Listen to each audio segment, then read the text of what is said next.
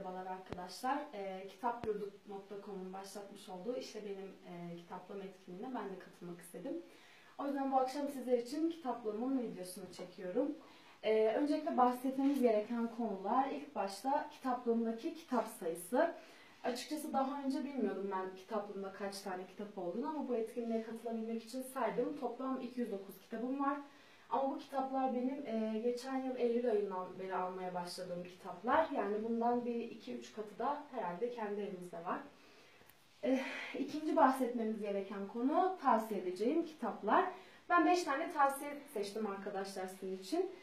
E, öncelikle tabii ki Sabahattin Ali. E, beni tanıyanlar, çevremdekiler Sabahattin Ali'yi ne kadar çok sevdiğimi gerçekten bilirler. E, bu kitap benim için çok özeldir.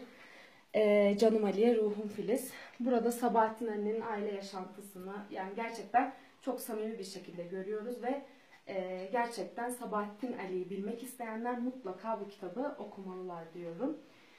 İkinci tavsiye etmediğim, etmek istediğim kitapta e, ne bir mektup tarzında yazılmış. Ahmet Arif'ten Leyla bile mektuplar. Leylim Leylim. Gerçekten çok güzel mektuplar içeriyor. Çok içten. E, yani ben bu kitabı okuduktan sonra e, Kafka'nın Milene'ye mektuplar bile bana e, çok yalan geldi. Gerçekten bu tarz kitapları seviyorsanız mutlaka okumalısınız. Üçüncü tavsiyem e, satranç kitabıyla tanıdığım Stephen Zweig. Bunun da Amok Koşucusu kitabını tavsiye etmek istiyorum. Kitap 7 tane öyküden oluşuyor ve her öykünün teması da intihar. Mutlaka tavsiye etmek istediğim bir yazar bunu. Size gerçekten okumanızı öneriyorum. Çünkü bu yazar gerçekten insanı hiç yanıltmıyor.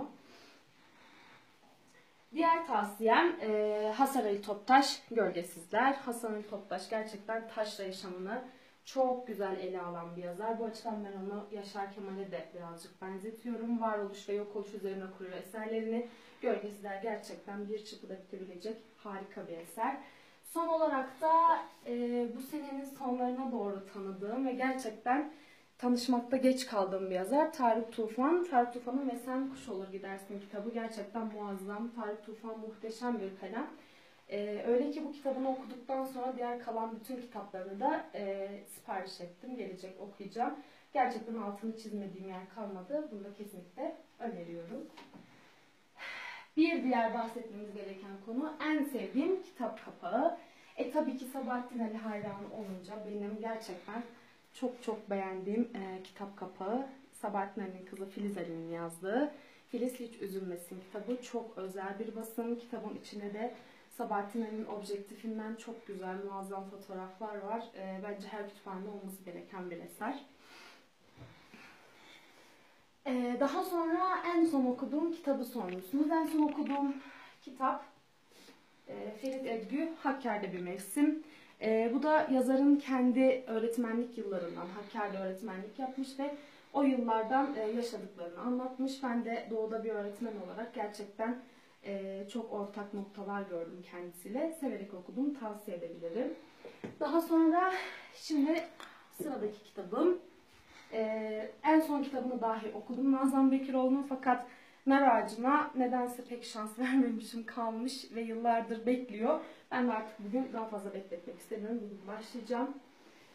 Ee, daha sonra bir e, alıntı yapmam gerekiyor. Ben alıntılarımı e, ajandalarıma yazıyorum. Bu ajandada da kitaplardan beğendiğim cümlelerin, altını çizdiğim cümlelerin alıntılarını buraya yazıyorum. E, alıntımda yine Tarık Tufan'ın ve Sen Kuş Olur Gidersin e, kitabından yapmak istiyorum. Bütün bir geceyi uykusuz geçirmene sebep olan şeyleri bir nefeste anlatmak kolay değildir. O kadar çok şey biriktiriyor ki insan. Kimsenin karşı, karşılığında bir şey söylemesi de gerekmiyor. Oturup uzun uzun anlatmak, ne varsa söylemek yetiyor çok zaman. Yargılamadan, yüzünü ekşitmeden, saate çaktırmadan, bakmaya uğraşmadan, dudak bükmeden dinleyiverse anlatacak o kadar çok şey var ki. Bu da e, gerçekten beğendiğim cümlelerden birisiydi. Son olarak da eğer e, kitapyurdu.com düzenlediği bu etkinlikten çekilişi kazanabilirsem e, kitaplar için tabağımı kaldırıp oraya yer ayırmayı düşünüyorum. Çok teşekkürler. Herkese sevgiler, mutlu akşamlar. Arkadaşlar hayat kısa, kuşlar uçuyor. Hoşçakalın.